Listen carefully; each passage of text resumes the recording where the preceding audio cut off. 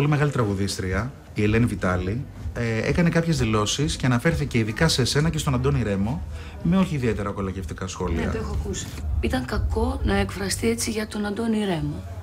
Για μένα είπε για το φόρεμα μου ότι είναι κοντό. Να μην πω ακριβώς τι είπε. Είναι, είπε νομίζω Ότι ότι φαίνεται εγώ ο διακριτικά ποπός κάτι μου, για τον είπε. Ποπό, ναι, για τα Λοιπόν, οπίστια. Δεν είναι ψέμα. Πρώτον.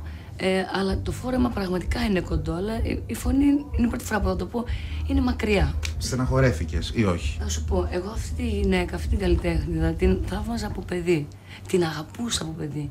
Και νομίζω ότι όσες φορές έχω ερωτηθεί για ποια καλλιτέχνη, δηλαδή ποιο καλλιτέχνη γενικότερα, ε, θαυμάζω, αγαπώ. Ήταν, μιλούσα μόνο για αυτή. Ακόμη και τυπικά, δεν μπορεί. Ένας δεν της είπε πως αυτό το παιδί, από τότε τέλος πάντων, που ήμουν παιδί, Τη λατρεύει. Μιλάει με τόσο όμορφα λόγια για αυτή και δείχνει την αγάπη της. Στο... Για την Ελένη Βιτάλη τέλος πάντων. Δεν της είπε κανείς αυτό. Όχι για να μην πει αυτό που αισθάνεται. Για να μην πει αυτό που αισθάνεται. Αν αυτό αισθάνεται, να μην το πει. Έχεις απολύτω. Είναι πολύ άνθρωπο αυτό που λες. Όχι, μα δεν γίνεται. Ε, Και ε, για μένα που είμαι τόσο μικρότερη από αυτή, σε όλους τους τομείς. Βέβαια, σωστά. Όχι, πρέπει να πεις να είστε καλά, να είναι καλά όλα τα παιδιά. Προχωρήστε. Αυτό θα έλεγα εγώ τουλάχιστον στη δική της θέση. Εγώ